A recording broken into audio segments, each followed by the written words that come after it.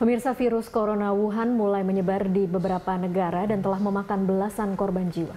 Pemerintah Indonesia lewat Kementerian Kesehatan menyatakan siap bersinergi dengan lembaga terkait untuk mengantisipasi penyebaran virus itu. Pemerintah telah menggelar rapat lintas sektor untuk mengantisipasi kemungkinan virus menyebar di Indonesia. Kewaspadaan beberapa area strategis seperti bandara dan pelabuhan menjadi perhatian pemerintah.